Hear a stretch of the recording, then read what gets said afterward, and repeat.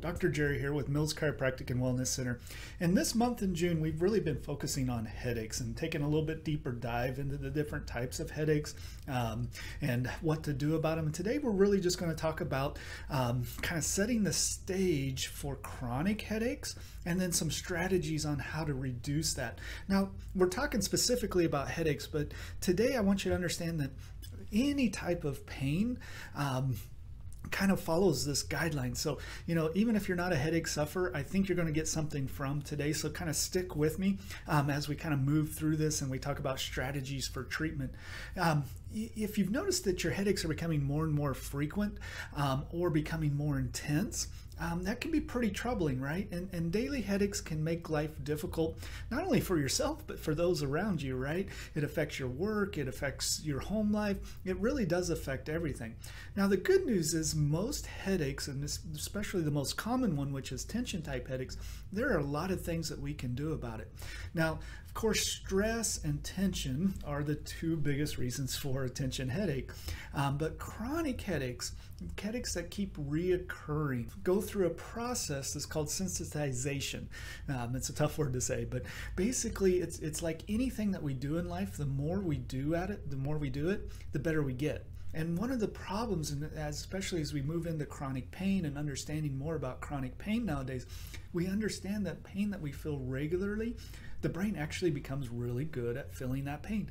And sometimes the problem can resolve, but because we've practiced so much, that it just doesn't take much of a trigger in order for the body to have this cascade of events and it basically becomes this very vicious cycle of of practicing pain over and over again to where it takes less and less stimulation to drive pain and to drive those signals. And, and unfortunately, a lot of times tension headaches fall into this category um, because of whether it be bad posture or just life stress, and we stop breathing from our diaphragm, we start breathing from our shoulders, and we start to create this tension, which then causes a headache that can be felt in the neck or the back of the head or around the front, generally both sides. You know, migraines are typically one sided, but um, a typical stress headache or a tension headache, you know, is typically going to be more on both sides, and like I said, the neck or the back of the head. It doesn't necessarily have to be in the in the neck um, at all, but that, that oftentimes there is but anyways you know a lot of times it's because of these life events and over time our body gets used to these signals like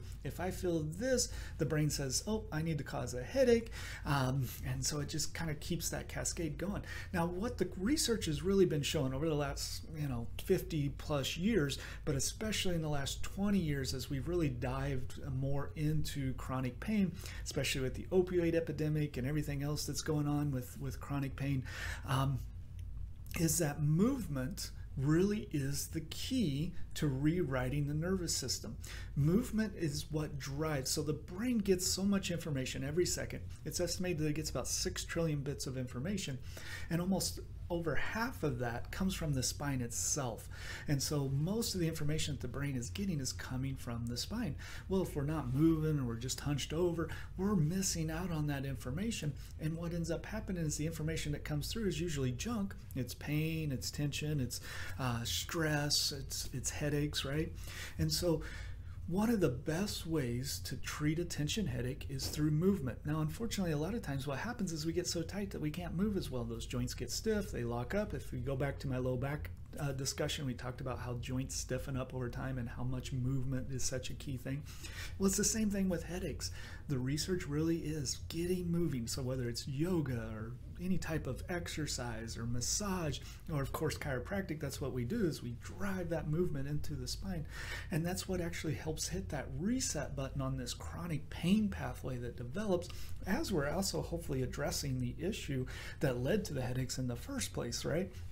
And so I you know I think it's always so fascinating that, that we help so many people with all these different types of headaches and some of them aren't even structural types of headaches right? Um, whether it be a migraine which is typically more of a chemically induced uh, situation. But resetting that nervous system and driving neurology has that effect that it can reverse those vicious cycles that get started. So anyway I hope you get something from today. The key is pretty much no matter what the problem is, movement is the key. So get out, get exercising, take your posture breaks, be aware of stress on the body and try to head that off before it gets to the point that it triggers another one of those vicious cycles. And if you're having trouble, of course, you know, talk to us about it. Send, um, refer patients to us that are struggling with this. Because next time, next week, I'm excited. We're going to finally wrap things up. Uh, we went a little long this month just because I like headaches so much but we're going to talk a little bit about the common treatments for headaches and why that actually ends up being one of the primary causes of headaches right? So it's um, so i hope you tune in next week for that. That's going to be kind of a fun discussion. So anyway until next time stay healthy stay well